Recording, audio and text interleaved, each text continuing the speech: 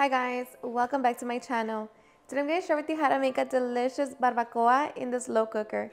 So in case you guys want to know how to make this super easy and delicious recipe, just stay tuned and I'll show you how. Okay, so we're going to begin by making our garlic paste. In my molcajete, I'm going to be smashing down a small piece of onion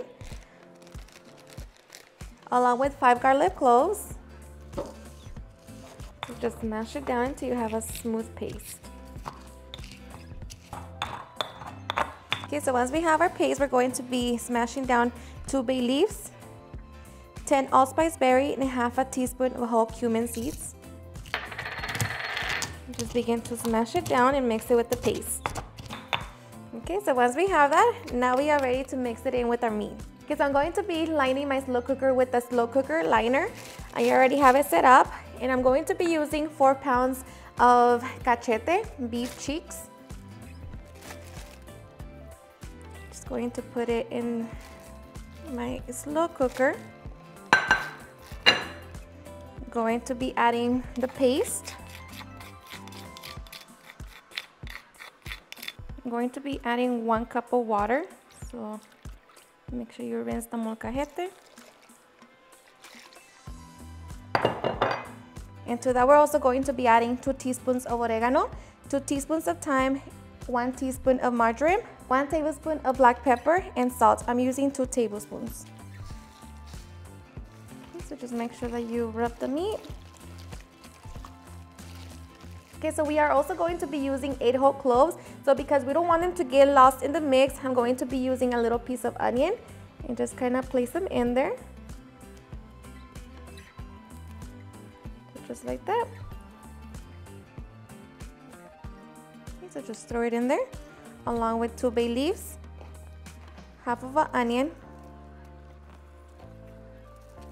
and some fresh oregano. So I'm just going to close the liner.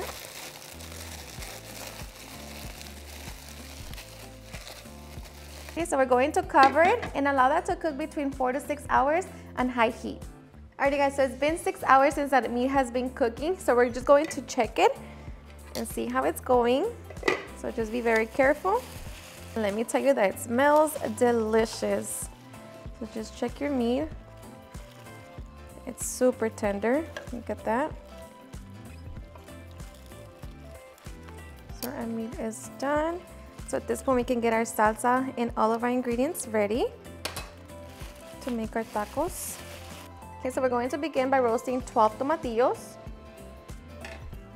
So once they begin to change color, flip them over to the other side and allow the other side to get nice and sharp. Okay, so once the tomatillos have changed color, they are ready. So we're going to remove them from the comal. And now we're going to roast a piece of onion and one garlic clove. So just allow the onion to get softened. Okay, so once the onion has softened, we're going to remove it from the comal along with the garlic clove. And now we're going to toast one guajillo pepper along with chile de árbol. I'm using 20, but of course it's all going to depend on how spicy you want your salsa. And just toast them for about 30 seconds. Make sure that you don't burn them.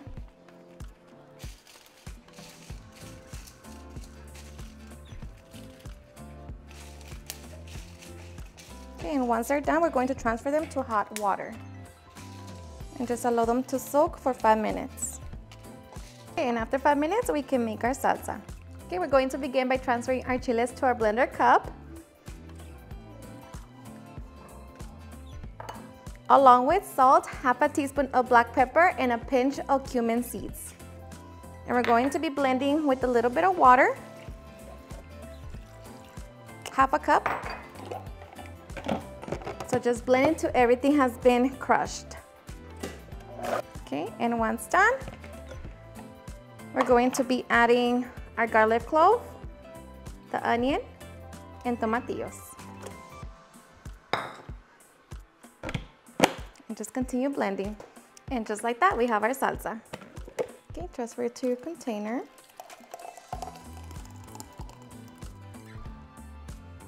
Taste it for salt and adjust it if needed. And just like that, we have our salsa. Alrighty guys, and once we have our salsa, cilantro, and onion all ready, now we can get ready for the fun part. of course, you want to taste it for salt and see if you want to adjust it. So I'm just going to grab it. Okay. Alright guys, so now we can get ready to enjoy. Alright guys, so now we can get ready for the fun part, topping our tacos. So I'm just going to squeeze a little lime juice, add a little onion, cilantro, and of course, our delicious salsa. And just like that, now we can get ready to enjoy. Alrighty guys, and now for the best part, the taste test. Now let me tell you guys that I hope you give this recipe a try. It's seriously super delicious. And the best part is that it is super easy, um, especially if you're busy. The slow cooker is just going to be your best friend. So I hope you give this recipe a try and enjoy it just as much. Cheers and enjoy. Mmm. Not only is the meat so tender, but it is so flavorful. And of course the salsa, the cherry on top, so good. Alrighty guys, and there you have it how to make a delicious barbacoa in this slow cooker. I hope you guys enjoyed watching this video and if you did, please don't forget to give me a big thumbs up. Share with your friends and family. And if you recreate this recipe, please don't forget to tag me in any of my social medias. And if you're new to my channel, please hit that subscribe button so you guys can be part of our family. Thank you so much for watching and I'll see you guys in my next video. Bye.